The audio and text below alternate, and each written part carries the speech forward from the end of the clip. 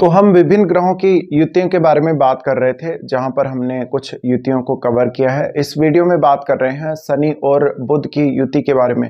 शनि और बुध की युति जब भी आपके चार्ट में किसी भी भाव में बने तो ये युति आपको क्या क्या रिज़ल्ट दे सकती है। देखिए, शनि और बुध दोनों ही ऐसे ग्रह हैं जो आपको काफ़ी ज़्यादा सोच समझकर फैसला लेने या आपको बहुत ही सोच समझकर एनालिसिस करने के लिए प्रेरित करेंगे। क्योंकि बुध है, वो वाणी और टैलेंट का ग्रह है इंटेलिजेंस का ग्रह है। जब उसके साथ शनि आते हैं तो ऐसे में शनि आपको बहुत ही देख परख कर, सोच समझकर, विवेकशील तरीके से निर्णय लेने के लिए प्रेरित करेगा। आप हमेशा सूचनाओं का संग्रह बहुत ज़्यादा रखेंगे, लेकिन उनमें से कौन सी बात आपको बोलनी है, कौन सी बात किसी को बतानी है, ये सब आप जब तक तय नहीं करेंगे, तब तक आप अपनी बात को सामने रखेंगे नहीं। इसके अलावा हमेशा ऐसा जातक, जब उसकी बात की अहमियत हो, तभी बात बोलेगा। तो शनि और बुद्ध का जो युति है, वो एक ऐसा युति है, जो आपके बुद्ध से रिलेटेड कार्यों में काफ़ी अनुशासन लाता है, एक संरचनात्मक दृढ़ता लाता है। आपके बोलने, सोचने, समझने के तरीके में बहुत मैच्योरिटी लाता है।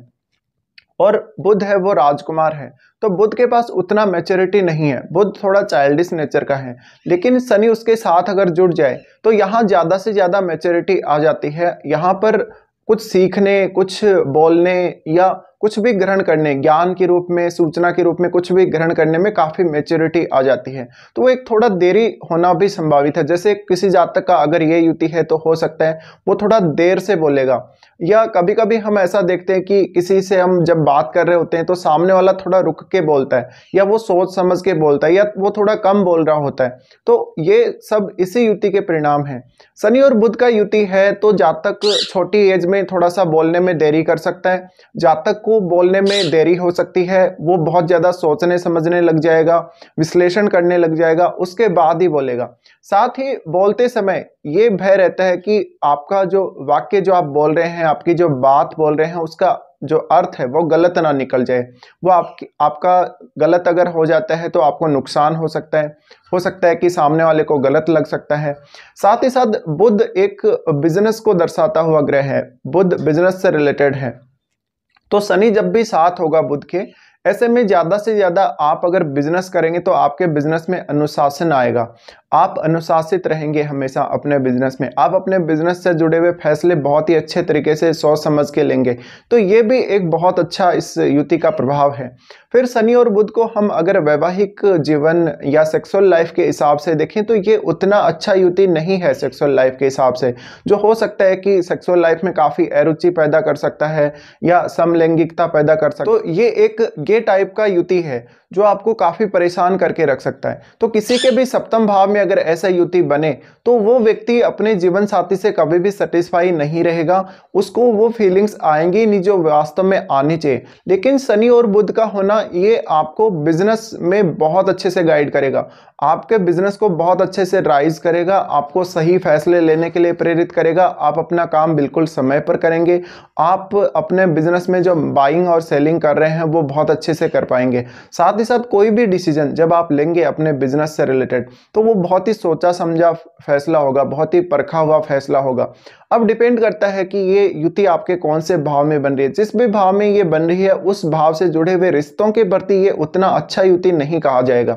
बट उस भाव से रिलेटेड कुछ नया करने, कुछ बहुत ही डीप करने, बहुत ही डीप सोचने के बारे में ये युति आपको ज़्यादा प्रेरित कर सकती है। जैसे किसी के मान लीजिए अष्टम भाव में ये युति बन रही हो तो उसको रिसर्च या अकल्ट में सफलता दे सकती है। बट शनि साथ है तो थोड़ा लेट सफलता मिलेगी। अगर किसी के लगन में ही ये युति है तो हो सकता है वो जातक उतना ज़्यादा सुंदर नहीं दिखेगा जिस प्रकार से अकेला बुद्ध होने पर जातक इतना अट्रैक्टिव दिखता। हो सकता है किसी के पंचम भाव में ये युति है। तो जातक सीखने में थोड़ा देरी करेगा, लेकिन जब वो एक बार सीख लेगा किसी चीज़ को, किसी बात को ग्रहण कर लेगा, वो भूलेगा नहीं। तो यहाँ आपको ये देखना अहम है कि क्या शनि वक्री तो नहीं है बुद्ध के साथ, या फिर बुद्ध अस्त तो नहीं है? या बुद्ध वक्री तो नहीं है। देखिए, अगर बुद्ध वक्री हो गया तो बुद्ध का जो रिज़ल्ट है वो ज़्यादा बढ़ जाएगा। अगर शनि वक्री हो गए तो ये आपके बुद्ध के लिए ज़्यादा अच्छा है। फिर आपको देरी नहीं होगी बुद्ध से रिलेटेड काम करने में या बुद्ध से रिलेटेड चीज़ों को ग्रहण करने में। साथ ही आप ये ज़रूर देख लें कि आपका बुद्ध कौन कौन से भावों का स्वामी है। आपका बुद्ध जिन भावों का स्वामी है, उन भावों से जुड़े हुए रिश्तों और उन भावों से जुड़े हुए कार्यों पर बहुत ही ज़्यादा असर पड़ सकता है। उन रिश्तों से ज़्यादा कुछ एक्सपेक्ट ना करें। साथ ही उन रिश्तों से आप अटैच ना हो। हो सकता है कि आप एक बहुत ही रिजिड पर्सन हो फैसला लेने के मामले में, सोचने समझने के मामले में, और आप एक विशेष रूल को फॉलो कर रहे हो, एक विशेष प्रक्रिया को फॉलो कर रहे हो। आप उससे हट नहीं सकते। आपको लगता है कि आप अगर उस प्रक्रिया को छोड़ देंगे, उस हिसाब से नहीं चलेंगे तो आपको काफ़ी दिक्कत आ जाएगी, काफ़ी नुकसान हो जाएगा। यहाँ जातक तक को अपना टैलेंट डेवलप करने, अपने आप को पहचानने, अपनी क्षमताओं को पहचानने में थोड़ा सा देरी हो सकता है। तो मोस्टली इस युति का जो प्रभाव है, इस युति के जो परिणाम है, वो थोड़े लेट ही निकल के आते हैं। शनि और बुद्ध का ये युति आपको काफ़ी अच्छे तौर पे प्रभावित करता है जीवन में। आपको शुरुआत से ही प्रभावित करना शुरू कर देता है। क्योंकि आपका जो एजुकेशन है, जब जब आपका एजुकेशन स्टार्ट हो जाता है, उसी समय आपको बुद्ध की ज़रूरत पड़ती है। आपका इंटेलिजेंस है बुद्ध। आपकी सोचने, समझने की क्षमता, निर्णय लेने की क्षमता को भी बुद्ध प्रभावित करता है। इस वजह से शनि और बुद्ध की युति का प्रभाव बहुत ही गहरा रहता है आपकी लाइफ पर। और ये युति आपको बहुत कुछ दे सकती है देने को। लेकिन हमेशा ये बुद्ध से जुड़े हुए कार्यों में अनुशासन लेकर आएगा शनि। नहीं। वहाँ पे एक स्थिरता लेकर आएगा। तो यहाँ जातक को कभी कभी फाइनेंशियली भी दिक्कतें आ सकती हैं। उसको जब वो कोई चीज़ बाइंग सेलिंग करेगा या कोई भी सर्विस किसी को देगा तो वहाँ काफ़ी सारी रुकावटें देखने को मिलेंगी। जातक का जो धन है, वो कहीं कहीं अटक जाएगा बार बार उसको पैसा मिलेगा नहीं समय पर। ये एक समस्या आ सकती है आप लोगों को। साथ ही साथ जो जो प्रोसेस आप फॉलो कर रहे हैं, किसी भी बिज़नेस को करने के लिए, वो प्रोसेस आपको बार बार बदलना पड़ सकता है।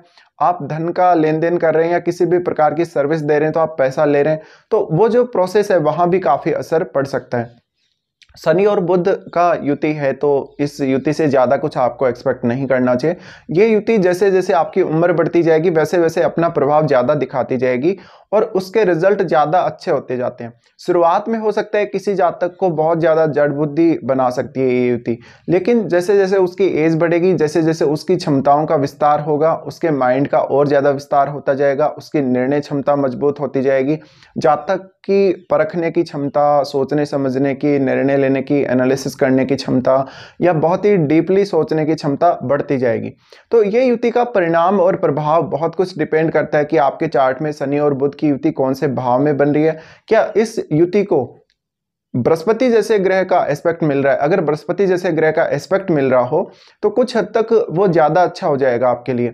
या फिर सूर्य से ज़्यादा प्रभावित है अगर ये युति तो भी आपको काफ़ी अच्छा रहेगा। बट आपको देखना पड़ेगा कौन सी राशि में ये युति बन रही है। क्योंकि यहाँ ज़रूरत है आपको, शनि और बुद्ध दोनों ही अच्छे होने चाहिए। अगर दोनों अच्छे हैं तो निश्चित ही इस युति के परिणाम काफ़ी ज़्यादा अच्छे रहेंगे। फिर आपको बिज़नेस में या अपने काम में सफलता हो सकता है, थोड़ा लेट मिलेगी, लेकिन जो सफलता मिलेगी, वो काफ़ी दृढ़ होगी, काफ़ी अच्छी सफलता होगी वो।